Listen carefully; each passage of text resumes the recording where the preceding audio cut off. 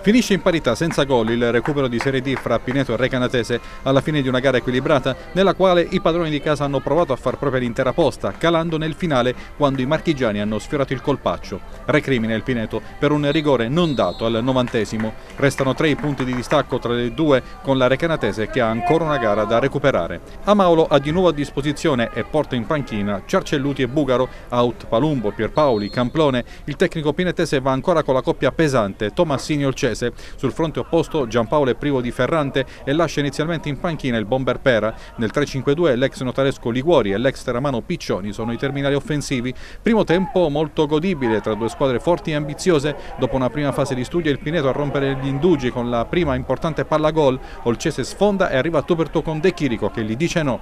Risponde la Recanatese con una manovra elaborata, cross di Pezzotti, torre di sbaffo per Piccioni che incorna centralmente, blocca Mercorelli. Un minuto dopo Olcese investe di assistman libera Verdesi, il cui destro però è impreciso. Altra grossa chance pinetese prima della mezz'ora, Recanatese distratta e una rimessa laterale manda in porta D'Angelo, ma De Chirico in uscita bassa è ancora provvidenziale. Sul ribaltamento di fronte Gomez, sempre attivissimo, conclude centralmente. Più pericolosa la giocata di Liguori al quarantesimo, conclusione mancina alla sua maniera, ma Mercorelli risponde bene deviando in corner. Sempre Liguori dalla solita mattonella conclude alto. È l'ultimo atto del primo tempo. La ripresa si apre dopo 4 minuti a Maulo cambia volto al Pineto, fuori Olcese, dentro Cercelluti e passaggio al 4-2-3-1 con Esposito dietro Tomassini. Al decimo ottimo taglio di D'Angelo per Verdesi che controlla bene ma non tira subito ed è murato. Diciottesimo cross di Nicolao, torre di Cercelluti, ma né Esposito né Tomassini arrivano all'appuntamento col gol. Ventesimo corner di Nicolao, Esposito in corner sull'esterno, togliendo il pallone a Salvatori, forse meglio piazzato. Folata Pinetese che Giampaolo prova a interrompere con l'ingresso di Pera al 24esimo al posto di Piccioni e un minuto dopo la Recanatese si fa rivedere dalle parti di Mercorelli con l'ex Pezzotti. Contro break Pinetese al 31esimo con Paoli che serve Cercelluti che tira alto anziché servire Tomassini. Al 34esimo super palla gol per la Recanatese, Liguori spara a botta sicura sulla corta respinta di Pepe, Mercorelli respinge distinto e poi è super sul tentativo di tapin di Giaccaglia. Altro brivido per il Pineto al 43 sulla punizione di Pezzotti e il colpo di testa di poco alto di sbaffo. Proteste pinetesi allo scadere, il neoentrato di Giovacchino è affrontato in scivolata da dietro da Donzelli in piena area. Maccarini di Arezzo ci pensa un po' e poi opta per la simulazione. La punizione di Nicolao fa poi scendere il sipario su un risultato nel complesso giusto.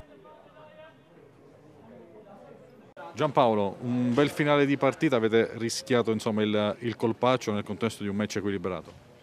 Sì, penso di sì, perché la partita il primo tempo è stata equilibrata. Pineto sappiamo è una buona squadra costruita per vincere, lo sapevamo, però noi abbiamo fatto una buona partita. Forse mh, questa continuità che non abbiamo avuto perché abbiamo saltato due partite ci ha un po' penalizzato un po' sul ritmo però penso che poi alla fine il risultato sia giusto, abbiamo avuto un'occasione, due occasioni eh, quasi alla fine dove il portiere loro è stato bravissimo, eh, però penso che poi alla fine le due squadre hanno, hanno, hanno, espresso un buon calcio, hanno giocato, tutte e due cercavano di vincere la partita e penso che il risultato sia giusto. Pineto recrimina nel finale per quell'atterramento di Giovacchino, lei come l'ha vista?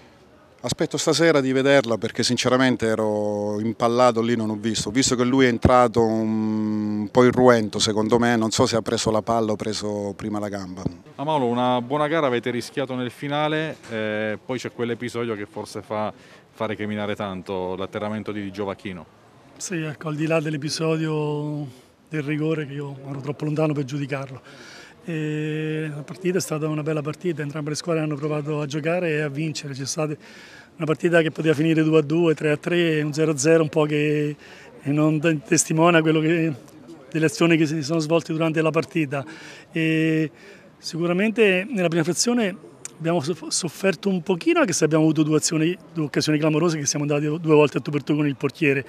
Nella seconda parte, mezz'ora, eh, abbiamo fatto la partita, anche qui abbiamo avuto due o tre occasioni importanti, poi ci sta che un po' di stanchezza è subentrata e l'ultimo quarto d'ora la Regalatese ha spinto e fortunatamente il nostro portiere è stato bravo in un paio di circostanze, anche se poi alla fine abbiamo avuto l'occasione per chiudere la gara, però accettiamo il pareggio con una squadra forte e consapevoli di aver fatto una, una, buona, una, buona, prestazione e quindi ripartiamo dalla prestazione, speriamo un po' ecco, di essere un po' più incisivi sotto porta.